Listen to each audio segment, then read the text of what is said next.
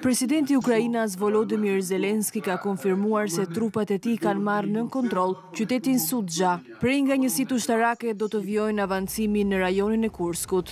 Pamje satelitore nga zona tregojnë dëmet e shkaktuara në një bazë ajrore ruse, e goditur nga një dron ukrainas.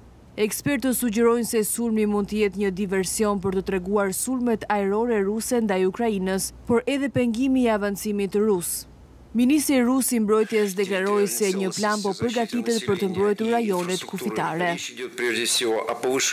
Së pari, po flasim për të përmirësuar efikasitetin e sistemit të komandës dhe kontrollit, në bashkëpunim me agjencitë e tjera ligjzbatuese dhe administrimin e rajonit të Belgorodit. duke identifikuar zyrtarët përgjegjës, duke çuar trupa të reja dhe fonde për të përmbushur detyrat kryesore.